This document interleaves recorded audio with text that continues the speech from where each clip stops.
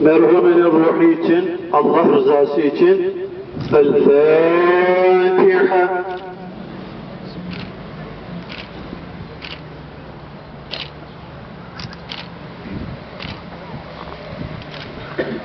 Evet muhterem kardeşlerim, şu anda musallada hazır bulunan ablamız genç yaşta Rabbimin rahmetine kavuştu. Rabbim kendisine rahmet eylesin, makamını cennet eylesin, geride bırakmış olduğu kederli ailesine sabrı cemüller ihsan eylesin. Adam duyum üzere kendisi bayağı hastalık çekmiş. Çekmiş olduğu bu hastalıkları Rabbim kendisine inşallah günahlarının kefaretine vesile olmasını nasip ve müesser eylesin.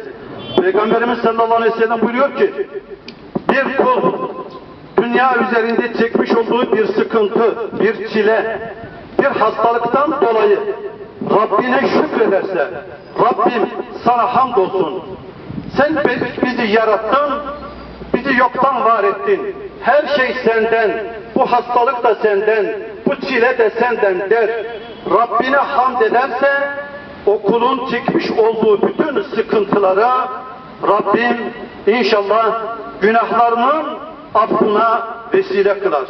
Bu ablamızın da inşallah çekmiş olduğu hastalıkları Rabbim günahlarının affına vesile kılsın inşallah. Rabbim bizlere de hayırlı tedarikler ihsan eylesin.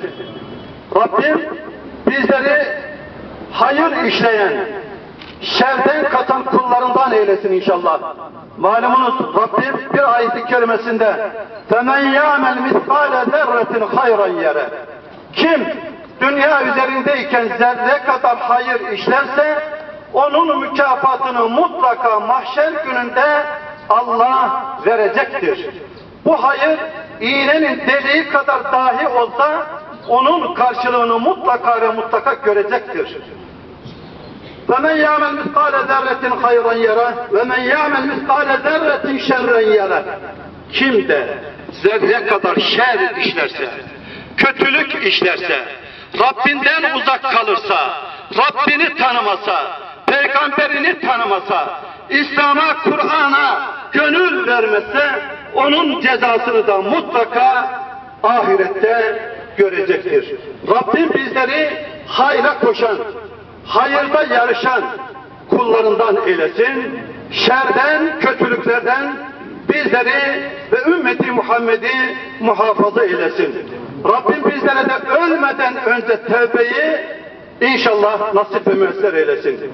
Muhterem kardeşlerim, cenaze namazı dört tekbirle ibaret olup birinci rekatta Subhaneke ve Celle Sena ile beraber ikinci tekbirde Allahümme salli Allahümme barik üçüncü tekbirde cenazeye has duasını bilen duasını okuyabilir.